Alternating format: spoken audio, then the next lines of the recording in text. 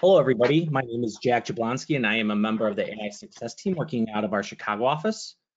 In today's learning session, we're going to talk about visual AI. Today's presenters are Rajiv Shah. He is a data scientist at DataRobot, where his primary focus is helping customers improve their ability to make and implement predictions.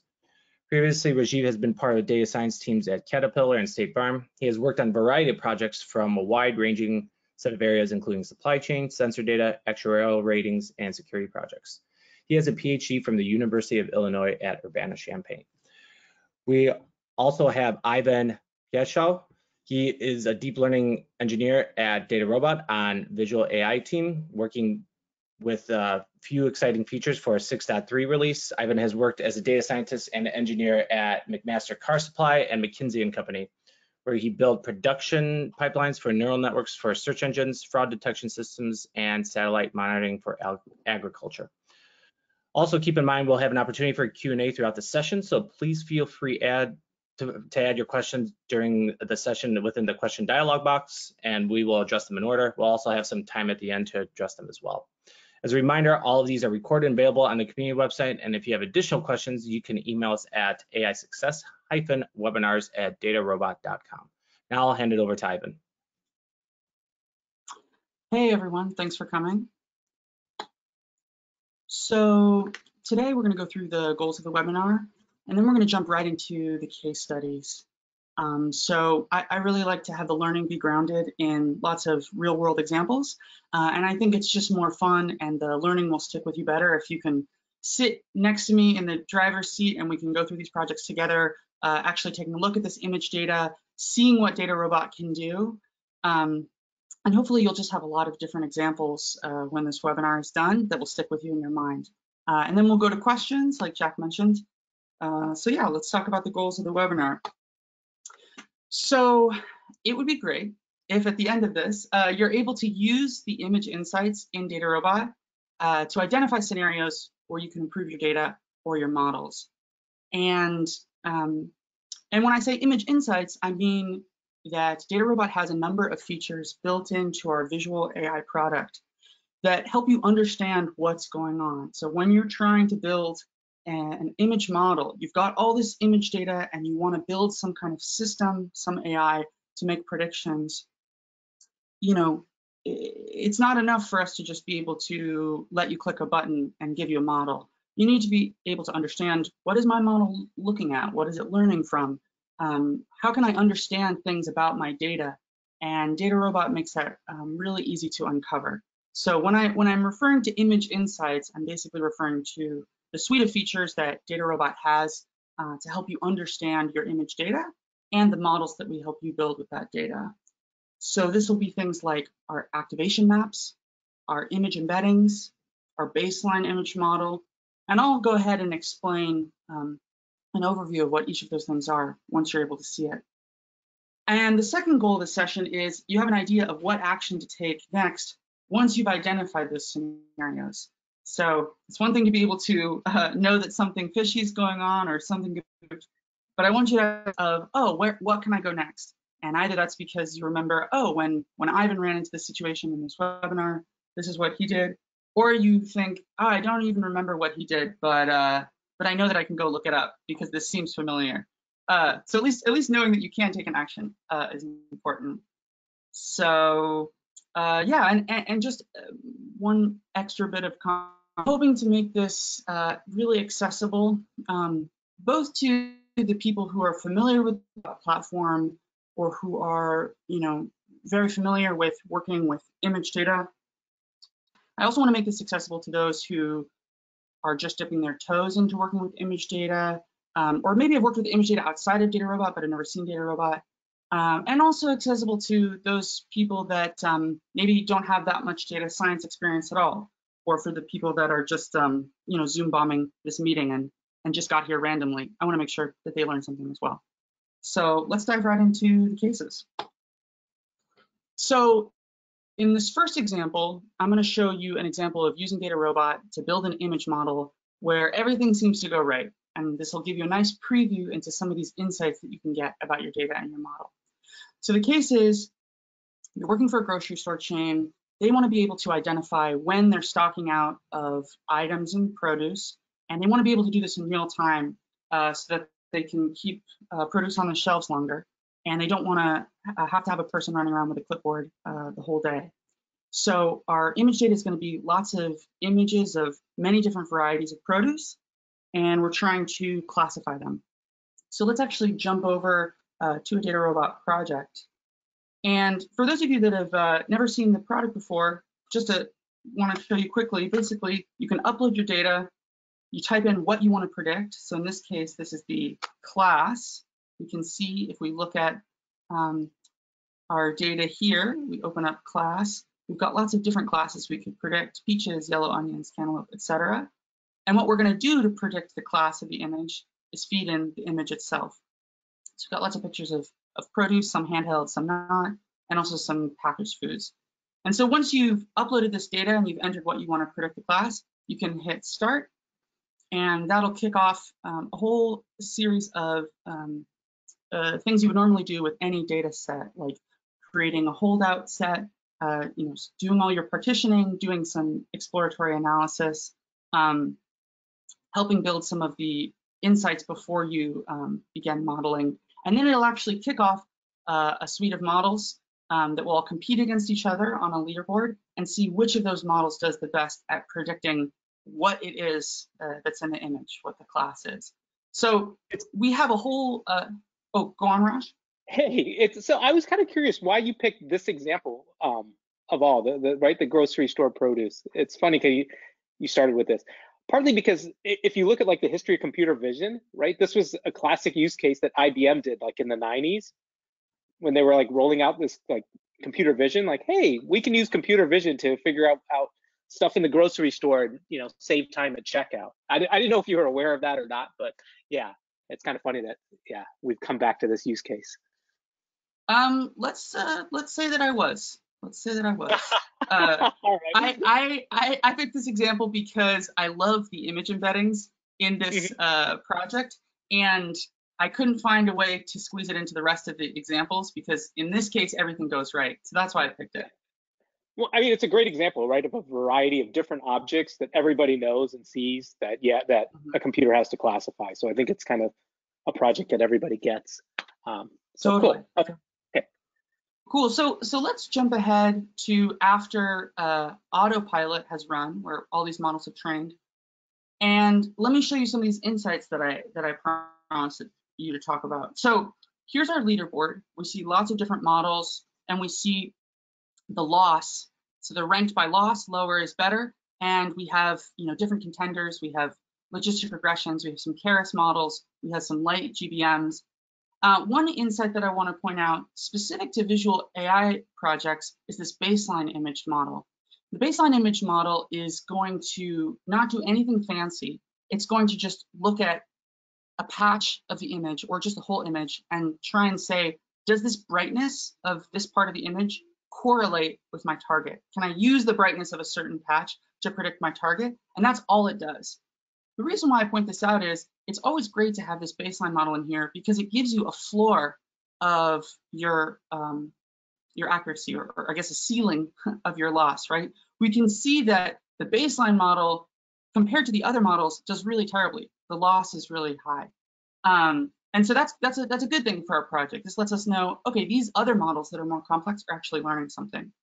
Um, so that's one insight that I want to point out. Um, and actually, I'm going to change this to balanced accuracy so it's a little bit more interpretable.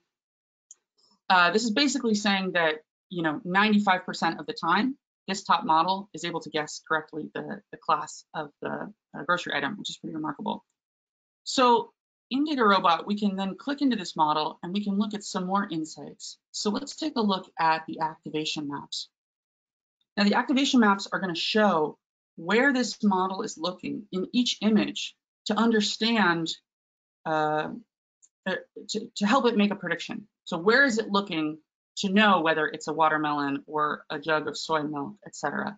I'm going to turn on this color overlay. This is just built right into the platform. We can see it's awesome, right?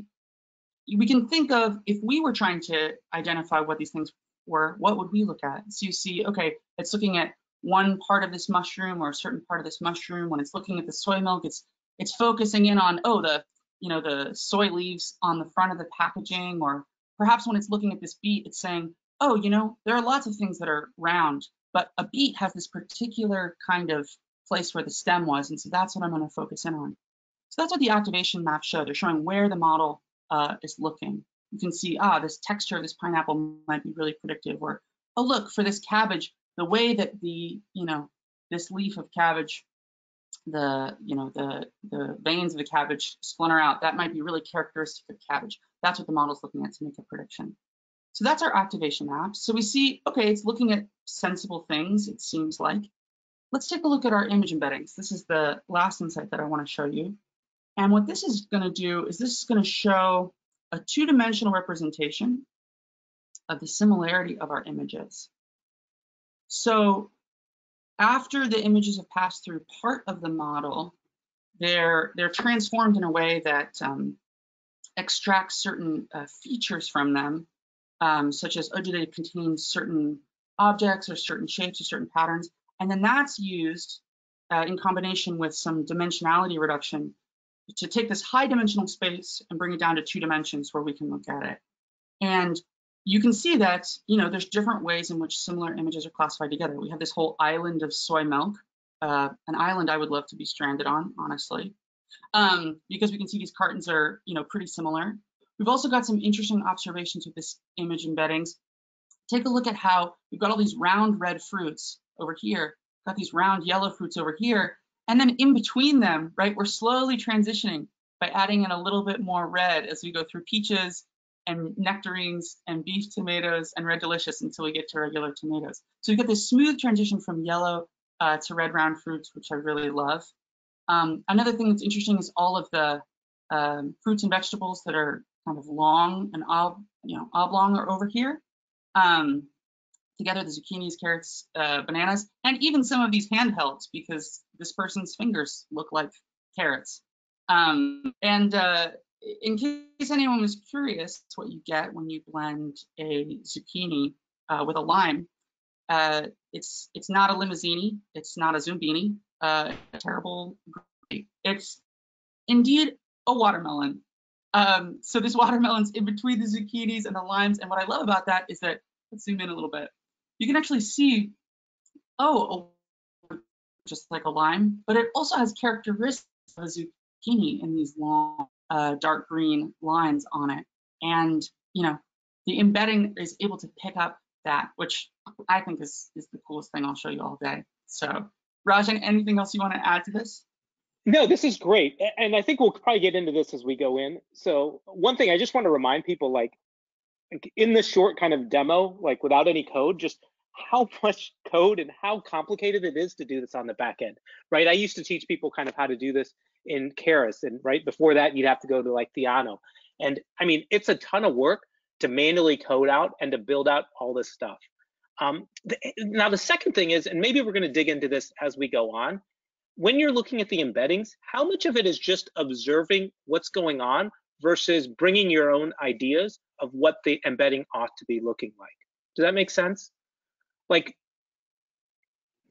does that make sense, Uh, Ivan? Or, yeah, yeah, yeah, yeah. I mean, uh, well, do you mean, sorry, do you mean like referring to the fact that like it's sometimes it's kind of like reading the tea leaves where you can see what you want to see, or do you mean Oh, like how how much should this be exploratory versus targeted searching for something? Well, a little bit, like right. So the, the patterns of the round and the, the round objects going, you know, from one color to another color, or kind of this mixture of objects. I mean, should we be looking for this kind of stuff all the time? And if not, is that kind of an indication that you know our network's missing something, or Mm, yeah, I would say that, you know, if you have an intuition about, you know, ways in which your your classes of images are going to be very different, you should expect to see some regions uh, separated. And how clearly those regions are separated is going to, you know, be based on how different they really are. So I, Yeah. I think it would be fair to say, you know, if I was classifying uh, this data set and I didn't know what the embeddings was going to say, I think it'd be fair to assume, hey, all of these packaged cartons of soy milk, these should definitely be very dissimilar from everything else. But Mhm. it makes sense to me that, you know, round fruits of different colors are more similar to each other. So even if they might have their own little region, they're still going to be much closer to each other than they are to the soy milk or even to these Yeah. carrots or bananas. So this also makes me think that maybe I want to just build a separate classifier for cartons versus the other pieces too, instead of doing it all in one model. totally. Does that make sense? Yeah. Okay, cool. Totally. Yeah. Yeah, definitely. You know, as we all know, the data science uh, model building process is pretty iterative. And this might be a step where you actually take this out of Data Robot and you say, hey, I actually want to separate this and build two different models. And so one model can just focus on the produce, one can just focus on the cartons. And what's great about Data Robot is it's actually pretty easy to build your own training set to do something like that. So you could just manually drag you know, 30 images of soy milk into one folder, drag 30 images of produce into another, put that into Data Robot, and have a pretty accurate model that would separate this because the problem is so easy. So um, that, that's actually possible. We've, we've done things like that uh, for our own internal testing before. All right. Okay, we'll Uh, keep going. Okay, This is great. Yeah, yeah, yeah. So, so this is an example where everything goes well. Now you're a little bit familiar with the uh, image insights that we have. So let's move on to um, our second case, which is plant seedlings. So let's say that you work with agri agricultural growers. They're trying to monitor weeds. Um, they want to know the prevalence of them, and so they need to be able to identify plants they want to grow versus the weeds. Maybe they even want to build some kind of IoT uh, bot some kind of system that's gonna, you know, they can drag along at the end of a tractor and, and spray pesticides on on weeds uh, if they detect a weed or not if they don't. Um, and so our image data set that we're gonna look at is gonna be identifying different species of baby plants. So let's jump over to that. So in this case, I've already run autopilot. I already have my leaderboard. So let's dig in. We've got our top model here. It's a Keras model. When I look at the balanced accuracy. So just for context, there's about 12 different classes of seedlings here. So 85% of the time, it, it's correct. This is okay. Seems like there's a lot of room for improvement, but it's learning something, right? So let me dig in then. I'm gonna take a look at our confusion matrix and see, okay, are there, are there classes it's commonly confusing? We see along the diagonal, these are the correct guesses. And the first thing that pops out to me is, huh, this is our biggest rag dot. So let's look into this. This is loose silky bent and black grass. It looks like it's getting these classes confused. And so for me as a data scientist, I would say, okay, if this is what my confusion matrix is saying, let me take a look at my activation maps and let me look at these two classes of plants, loose silky bent and black grass. So I'll go back um, to the activation maps.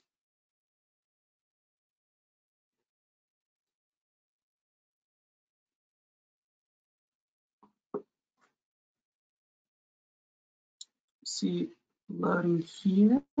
I'll turn on the rainbow overlay, which is my favorite way of looking at it. Do you, Okay, do you so I've always got- go to the color overlay? Uh, yeah, I do. unless the images, unless the images have a lot of rainbow colors in them, in which is confusing, and then I'll do the black and white overlay. Okay. Um, so we can see here, okay, what is our model picking up on? Well, it looks like it's picking up on some leaves, some leaves. That's good. That's good. What do we also see? Okay, we see these barcodes. That's strange. Uh, I didn't expect to see that. And okay, so it looks like a good mix of picking up on actual shapes of leaves and these barcodes. Um, and the barcodes represent, I don't know, maybe 20% of our images. Uh, if they're even, evenly distributed, maybe that's not a problem. If in the real world, in when we're trying to deploy this model, our images also have barcodes, it might not be a problem, but it's something to watch out for. And let's filter by those two classes that I said I wanted to look at. So loose silky bent. So let's filter by the actual loose silky bent. Okay, interesting. I, I, I feel like uh, this is a case where we can see by the activation map, it's actually looking at the barcode. Here it's looking at a part of the plant, but, but also including some of the barcode. Okay, interesting. Let me look at the black grass, the thing that was confusing it with. Okay, interesting. Th this one has more than half of have these barcodes in it. And so now I'm a little bit suspicious. So I'm gonna take a look at some other classes and see, okay, what's the deal with this barcode thing? So look at common chickweed. Okay, much less prevalent, these, these images that have this potentially leaking barcode. Or let me look at this class, scentless mayweed. Okay, much less prevalent. So, okay, so this is making me suspicious that there's something going on with loose silky bent and the black grass where they're using a lot more of the barcode. And also something I might notice is, look, it looks like this looks more like a grass as a as opposed to having fatter petals. And so it looks like it's just a harder problem. There's less of the image that has this plant in it because the loose silky bent and the black grass are these thinner kinds of uh, grasses. So that seems like it would make the problem harder. So okay, I I'm I'm now thinking that barcode might have something to do with it. Let's just shoot over to the image embeddings just to see if there's anything from it we can glean. And as Raj was saying, am I going in with expectations? Well, I might expect to see some of my classes that are uh, classified correctly maybe grouped together. Um, some of these other ones, maybe I expect to see the black grass and the loose silky bent together. Um, okay, interesting. So if I were to try and make sense of this, I'd say, okay, here's some image where it's really close up, maybe even a little blurry. Here's an area where the leaves matter. There's a lot of green in the image. Here's a kind of no man's land with a lot of rocks and maybe really thin plants. And we see that, okay, there's a decent distribution of ones with uh, barcodes in it.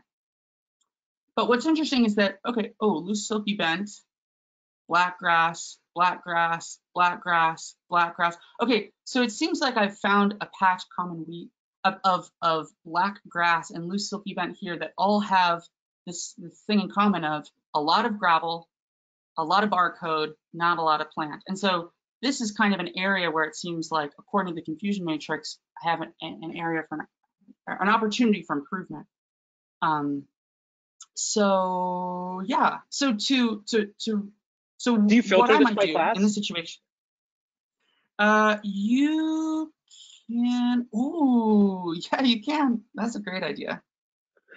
Two heads. Oh man, nice, Raj. Yeah. So look, here's where all the black grass is. I don't typically filter embeddings uh, by, that's not the first thing I think of to do.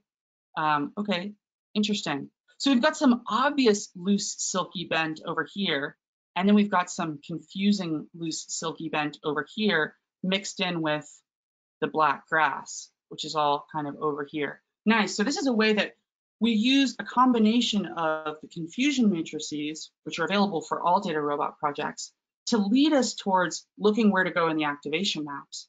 The activation maps gave us some, some intuition that helped us when we looked at the image embeddings, and also the filter helps us.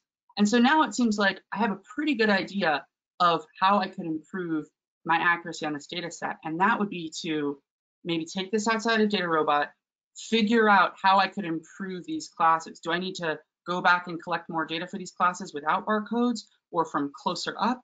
Um, do I need to maybe just crop the existing images that I have to remove these barcodes or to zoom in on the on the grass? Uh, this seems like a, a pair of classes that I have a lot of uh, opportunity for. So that's where I would dive in if I wanted to improve my model and then bring it back to DataRobot and see what I could uncover then. So Raj, any any thoughts on this?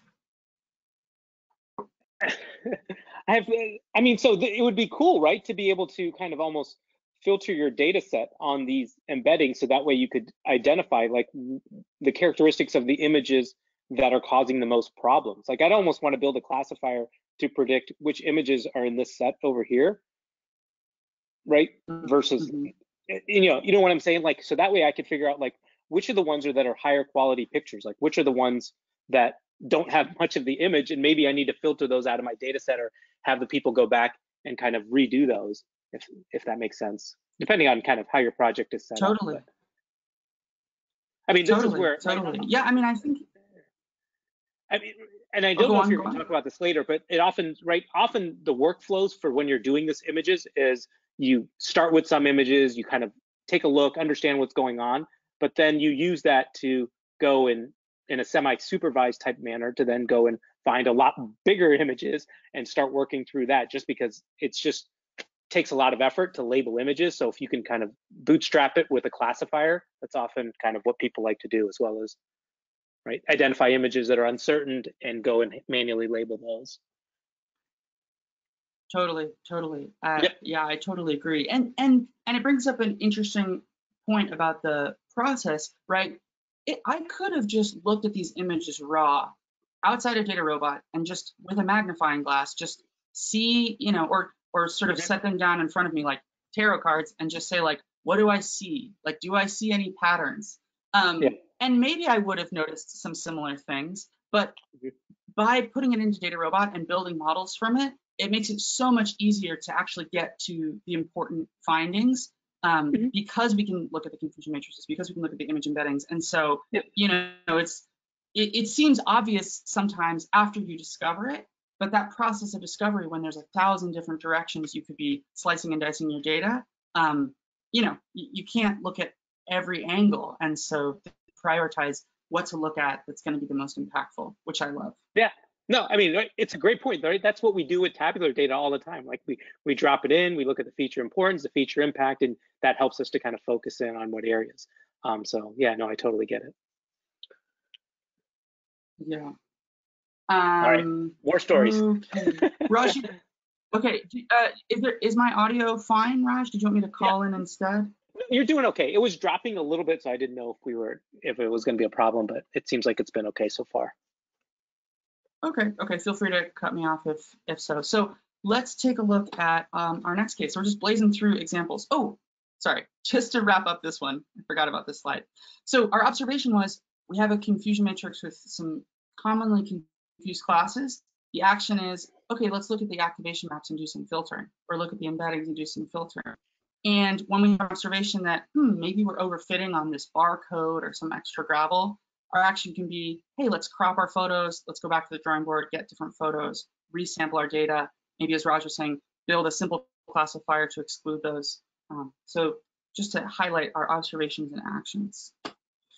Uh, all right, so third case, car damage. So let's imagine we work for a car insurance company, we're processing claims for damage, and customers are sending us photos of their damaged cars. And right now in our systems, we're not really using these images, we're just storing them. Sometimes we use them for manual review. Uh, but we want to build some kind of system that can help sort these claims better, maybe help verify uh, some of the damage amount. Um, and so we want to build a pilot where we say, hey, can Data Robot even identify damaged cars versus uh, undamaged cars? So that's the context. Let's jump into our project. So we've run autopilot. We've got a full leaderboard. Um, I look at my, so just for context, we've got blenders at the top of this leaderboard. Blenders take multiple models and average the scores together or train a simple classifier on multiple models. I'm going to ignore those for now. You can always get better scores by using blenders, but for iterating and looking at insights, it's helpful to look at the standalone models um, uh, because the it can be a little bit clearer what's going on and it's faster to train. So my top non-blender model is this ENet. Okay, I prefer to look at these binary in AUC. So high 90s, pretty good at classifying whether a picture of a car um, and we see that our baseline model uh, is terrible. So that makes me feel great. Uh, so it makes me feel like we're actually learning something. So my process would be, hey, let's jump into this model. Let me look at the activation maps. And what I'm expecting to see is that the model should be focusing on areas of damage, right? Makes sense. Um, and true to form, I'll turn on this rainbow color overlay. Okay, so here's lots of pictures of cars damaged and undamaged. I'm going to head, go ahead and filter at the outset. Okay, cool. So looks like it's focusing on this broken tail light, also focusing on the side door. Maybe it's damaged. I can't tell from here. Oh, look, looks like this hood and this tail light's damaged, just focusing in there. Okay, so we see the, the model focusing in on parts of these cars that are damaged. That's great. We see it picking up on dents. Sometimes even just looking at parts of a car maybe that are frequently damaged, like the hood of this car, even if it's not damaged in this particular example. Okay, this headlight is damaged and we're zooming in on there. Great. I feel pretty good about these activation maps. I feel like the model is picking up what it should. Let's look at the undamaged cars. Okay, interesting. Look at looks like it's picking up on maybe looking at more of the whole car, which would make sense. You know, if, it's trying to evaluate whether there's any damage, it would need to look at the whole car to figure out if there's any spot on it that had damage. Looking again at the hood, the siding. Okay, so there's areas that are frequently damaged. Okay, so this all looks good. Our AUC is good. It's much better than the baseline model. The activation maps are picking up on what I would expect and seem like there should be signal in it. We could just walk away. we could deploy this model and have been none the wiser. But let's take it one step further. Let's take the image embeddings uh, to reveal something that uh, that might that might be surprising. Spoiler alert: there's going to be a, a, twist. So we see our image embedding. Uh, there's okay, maybe roughly two clusters, but definitely a lot in the in between. I definitely my eye is caught on some of this more egregious damage over here. This looks a little bit less damaged. Let's verify that with um, with taking a look at our filters. So, um, okay, so we've got our damaged cars over here on the left, lots of different damage. Okay, makes sense. Let's look at our whole cars. Okay, we've got whole cars. And what I find really helpful is when we're looking at image embeddings, let's look at the border between two clusters to see which ones are, are sort of in between these classes. And let's also look at the extremes and see what might be instructive about that. So when I look at my damaged cars and I look at the, the extreme very far away versus the, uh, the close to the border, um, what do I notice? What do you notice? First thing that jumps out to me is, huh, looks like these are some, you know, really close-up images of cars. And these are more zoomed out.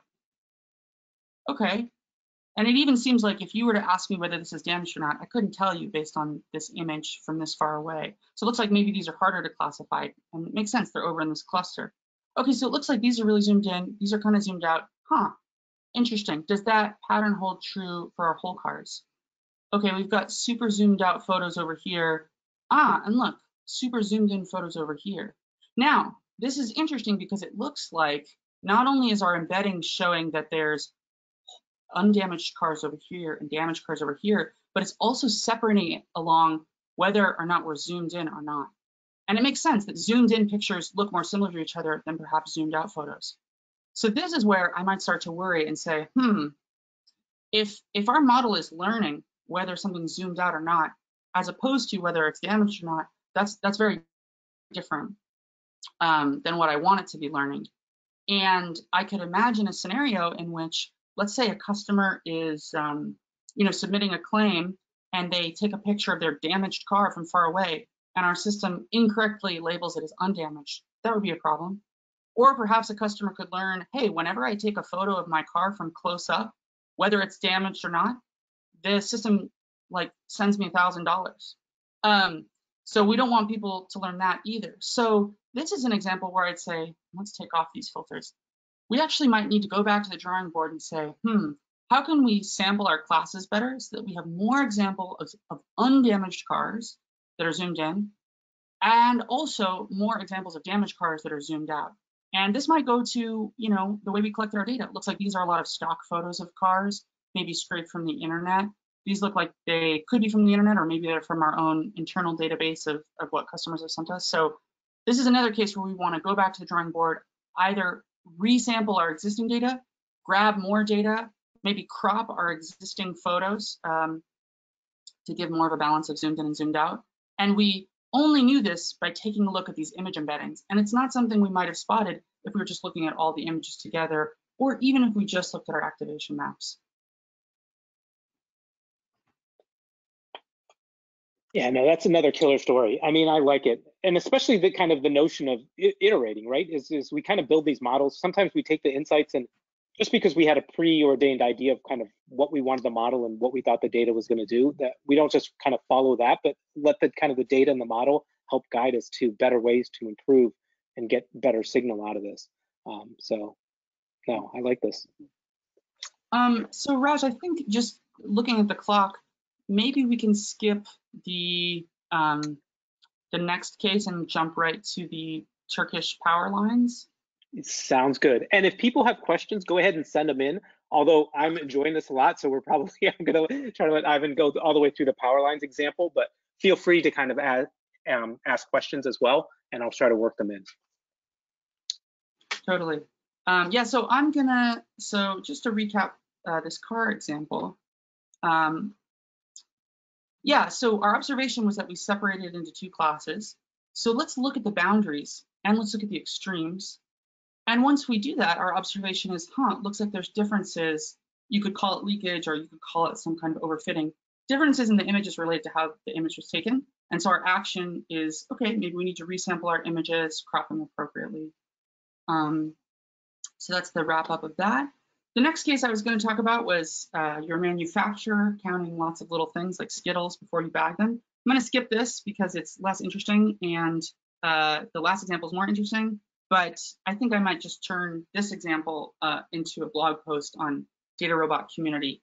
Um, so, so no one has to feel like they're uh, experiencing any FOMO about this case.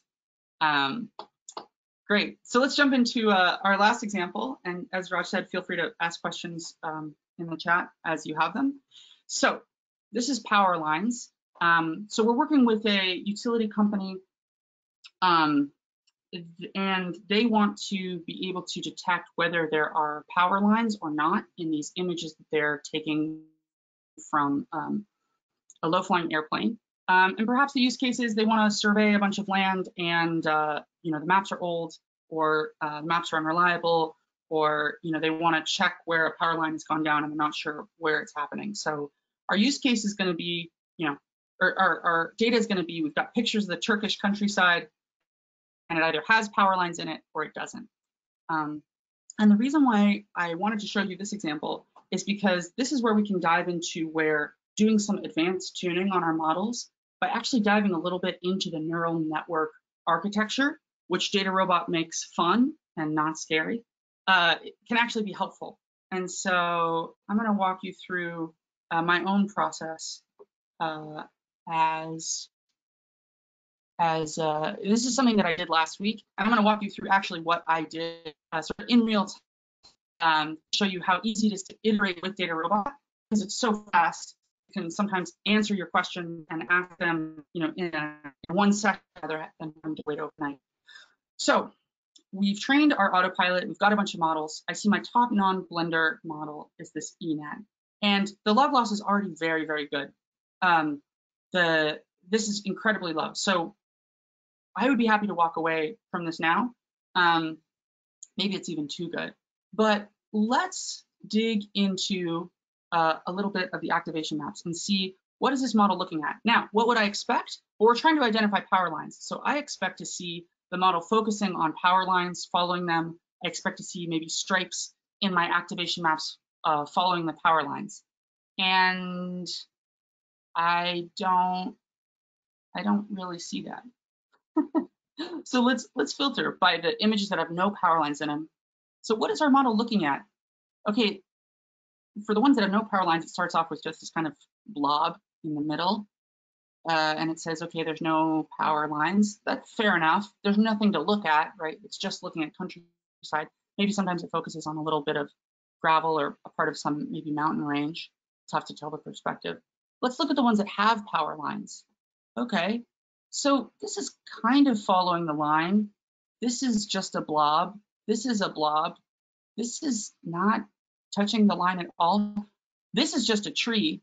so, so this makes me feel like, huh, is my model really learning to identify power lines or is it learning something else? Similar to our other examples, is it overfitting on something else? So I'm suspicious. Okay, look, it's identifying part of a of some power tower.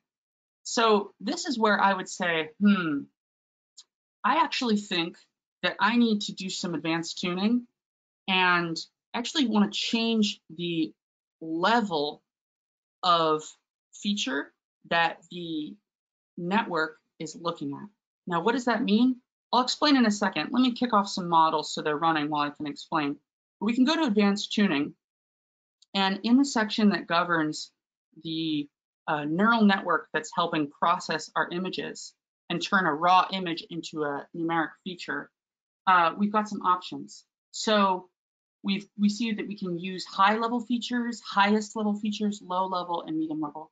So I'm actually gonna, I'm gonna set, I'm gonna change these around a little bit. So I'm gonna set this to false, this to false. So I'm gonna only use the highest level feature. I'm gonna begin tuning. I'll explain what this means in a second. um, let me train a model where I only use a high level feature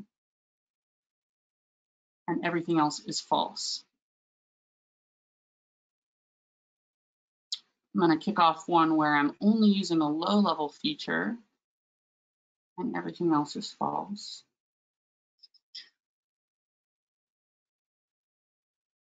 And then I'm going to do one for medium. And everything else is false. Okay, great. So I'm going to kick these off. So these are running. Now, what does this mean? Let me just take a minute and show you this. Ooh, we're we're we're running right up on time. so let's look at. Uh, so this is an example of how we take an image and with a neural network turn that into a set of numeric vectors that our um, models can use to learn from.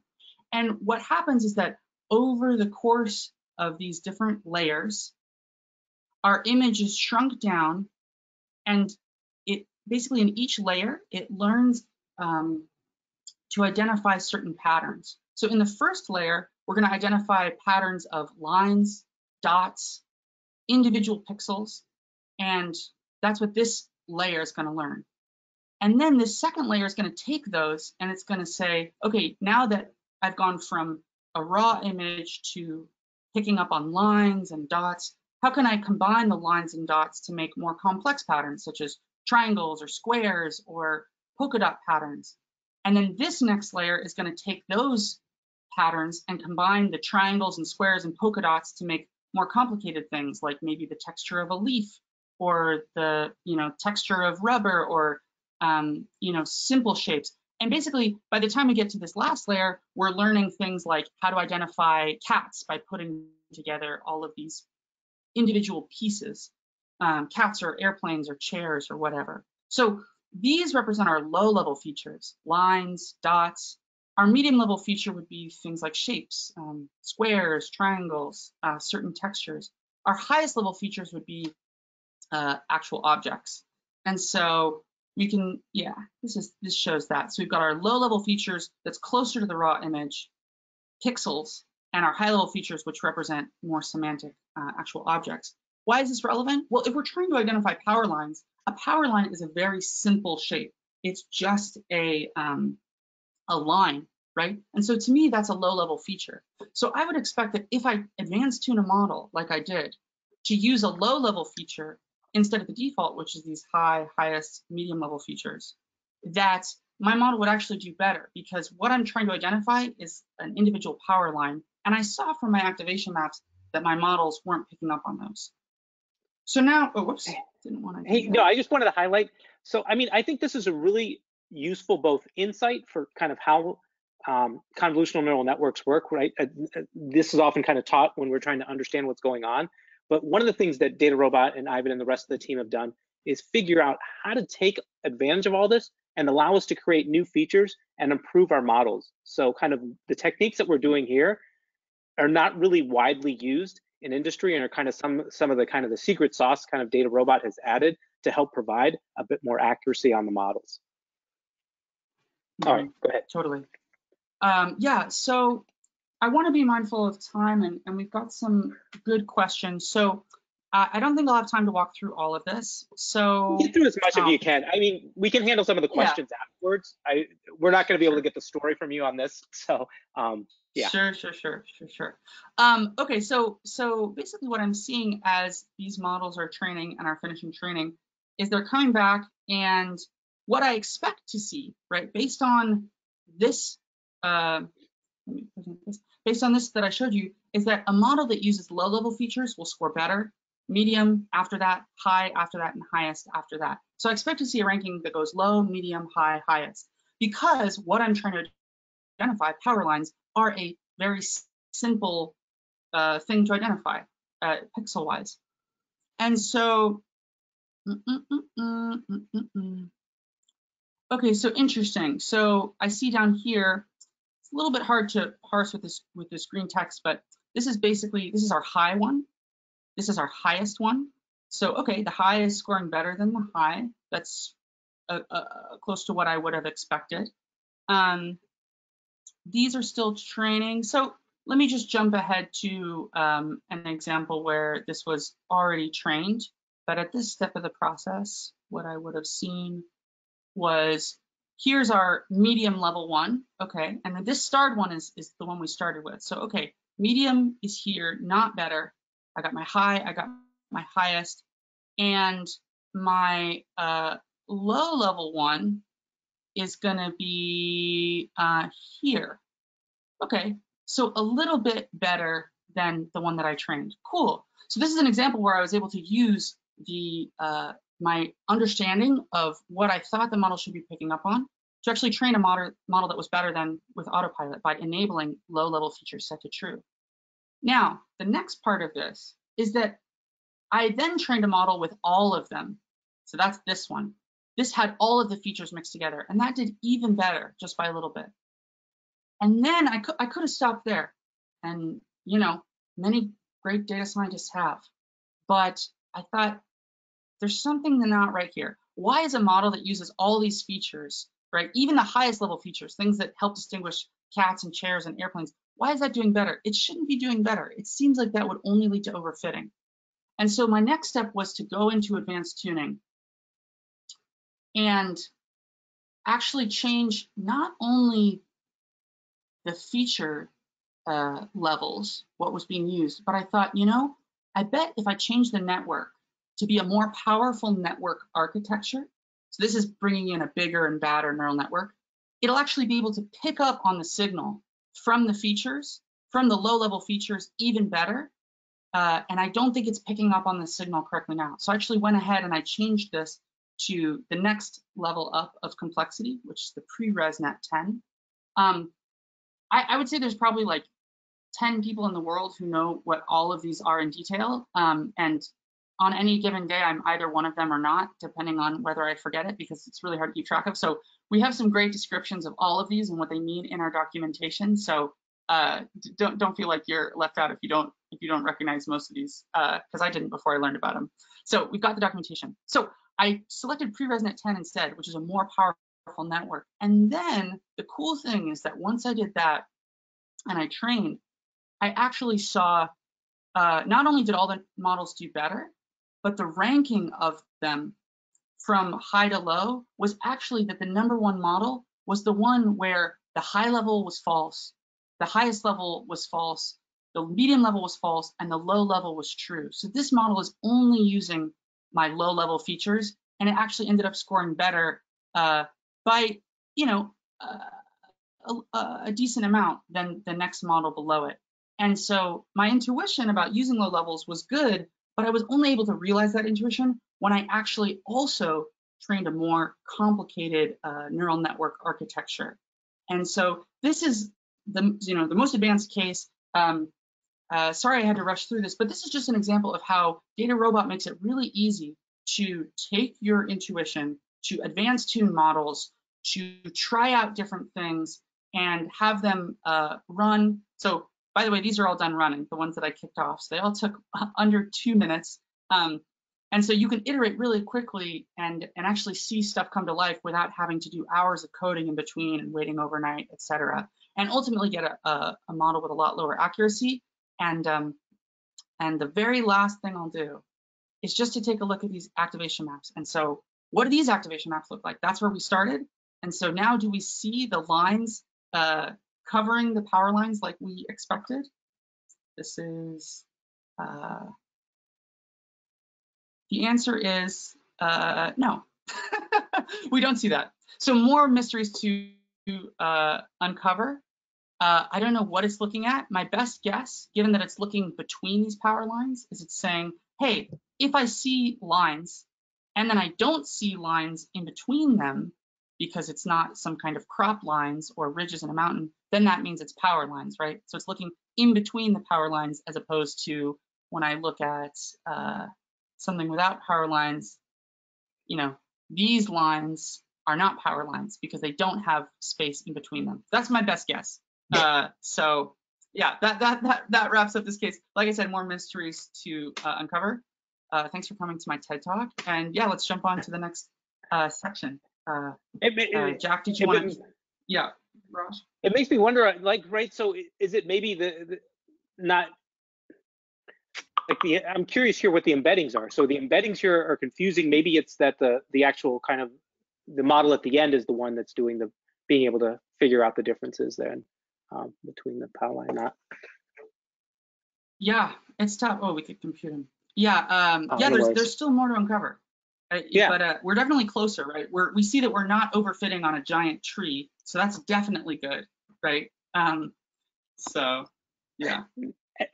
Okay, so if folks have questions, feel free to put them in. We probably won't be able to get to them all, but what we can do is we'll do a follow-up um, email in the next day or so with the link to the recording of the webinar, as well as kind of answers to the questions, which we'll probably post on community.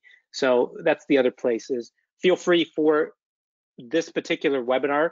We have that post inside community, so you can ask your questions um, there as well. All right. Um, so one question, and we need to kind of, I want to make sure we kind of hit this is, well, so what happens if you want those predictions in real time? How would you do that? hmm Uh, so, you, so DataRobot uh, offers you to uh, deploy any model, and if we want to get a sense of how fast it would be, we can take a look at our um, model info time and look at the prediction time. And so this is estimating that this model with this accuracy, uh, you know, seven seconds to score a thousand rows. So that gives you an idea, uh, and you can compare the prediction time among the models. Um, and DataRobot has a whole a whole team dedicated to making sure that deployments are really easy. You can um, get those predictions in real time. Uh, Raj, you want to add on to that? You're probably more familiar Yeah, no, with that. than I am. exactly. exactly. I'm putting you in that position. Okay. Um, exactly. I mean, if you go over to the predict tab, you'll see that there's kind of uh, just for any of the models that we have here, and you click on deploy, there's literally with just kind of one click, you can deploy these out to a prediction server, and then it has a nice REST API that you can use where you can just pass new images into it to get scored as well. And one other thing I want to point out is the examples today, we just focused on just images, but one of the nice things with DataRobot and kind of how this has been built out is we can actually mix both images with traditional tabular data, your text categoricals, as well as with geospatial data um, as well. So I think we'll do a seminar on geospatial here in a couple weeks, but one of the nice things is that multimodal data, DataRobot makes it really easy to handle that. Yeah. All right. You want me to, I'll ask you one or two of the questions and then Jack, you can tell us when we need to kind of, um, kind of, Yeah, we have time for probably two more. okay. So one question was, um, could you also train the model when we're talking about those, the, the car models, the car damage model, to identify zoomed in versus the whole car and use that to train the original model? Are you following that? Abby? Um, yeah, yeah. So we could do a, a two-part system where first we learn how to identify, you know, zoomed in or whole car, and then we could build a model on top of that to say, okay, given that it's zoomed in, is this damage or not? Or given that it's zoomed out, is this damage or not? Um, we could definitely do that. We just need to Yeah. figure out how do we get our labels for that. Um, and you know, with DataRobot, uh, that seems like it should be a pretty easy problem. Um, so I, I would imagine you could train a model like that with uh, with few data examples, few enough that you could drag and drop them yourself and, and make that model.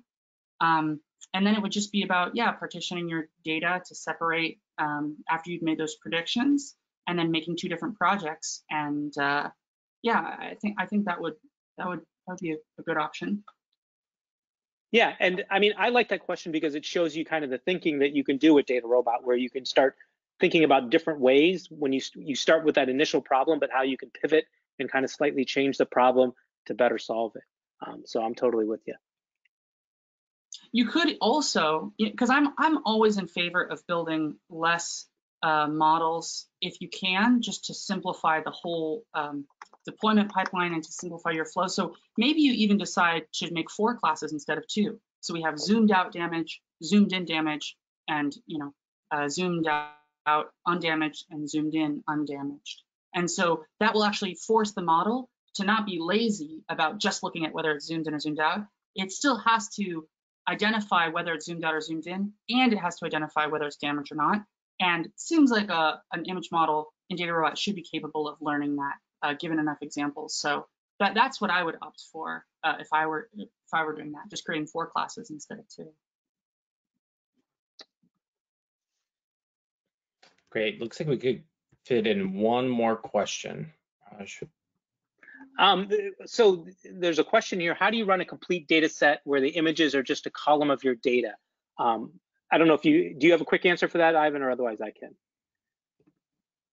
Uh, where the images are just a co- so um, you can. I mean, you can talk about technically how to upload that, Raj. It, it's pretty. It, Yeah. You, the answer is you can do it. It's pretty easy. And yeah, why don't you take it away? Yeah, and if you go to our community, I think Jack will mention it here. Uh, With this webinar, we've linked in some references inside community. One of them is a an example of using visual AI, where we kind of show you how you can set up the data set where images are just one column of your data, and then you have other categorical, numeric, other types of data in your data set. So it's it's fairly easy to do, and we've got that documented out there in community. Totally. Yeah. I mean, the one sentence answer is you have a CSV of your data, and one column is just a path to your images, and that folder of images just sits next to your CSV. And so then the CSV in that image column will just refer to the path of the image that should go in that column in that row. So it's really easy. Yeah. And, and also just to answer this quick question, car damage model, that was supervised. So we're training with labels. Someone has asked that. Great. Ivan, can you go to the last slide with the community site?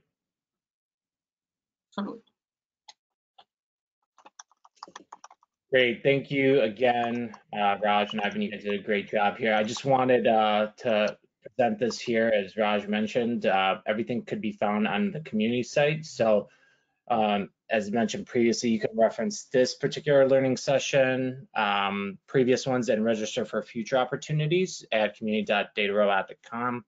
It's also just to keep in mind, it's a learning center where you can collaborate and share ideas with fellow peers and customers and data robot experts beyond visual AI. So there's a plethora of different types of topics and subject areas uh, around the product and concepts that you guys could actually look to engage in. And going forward, for any additional questions in relation to this particular webinar or future ones, please email us at AI success-webinars at datarobot.com. And again, you will receive a communication within the, within the next day or two referencing this particular webinar and other ones. And you will also see opportunities for future uh, learning sessions that you could look to register for. Thank you, everybody. Have a great day and talk to all of you soon.